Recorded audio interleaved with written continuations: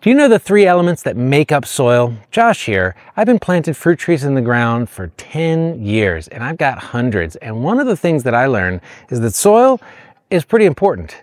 In fact, it's one of the most important things in choosing your site or in steps that you need to take to amend that soil so that the tree can be successful long term. Now, the three different things that soil is made up of are this. Number one, clay. I've got a lot of clay in my area.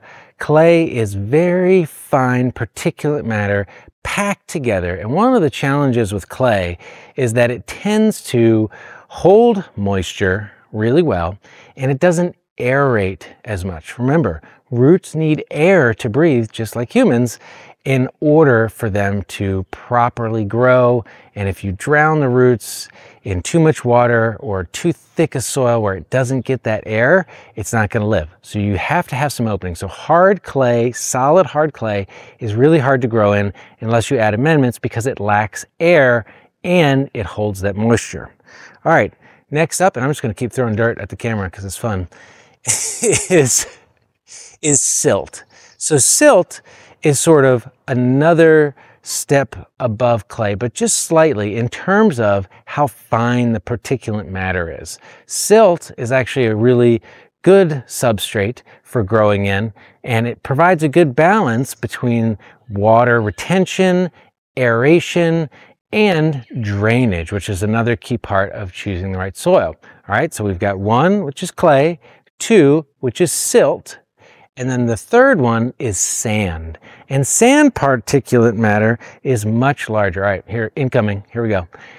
sand is all about uh, drainage. In other words, if you just spray water in a bucket full of sand, all that water is just going to immediately go down to the bottom. It's not going to puddle up on top because the particulates are so large that the water drains really quickly. So if you've got sandy soil, you're gonna have to water a lot more than if you had clay soil because that water is just not gonna stay.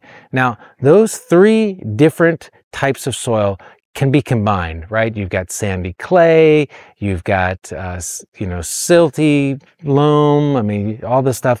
And loam is really a balance of all three of those. So loam is sort of the perfect growing substrate and loam is really a balance uh, that allows the roots to breathe. It holds the perfect amount of water retention. So if you've got a nice loam clay, you're really in luck, but most of us don't have that. I personally get a lot of clay in mine. In fact, let's get rid of some of this clay here.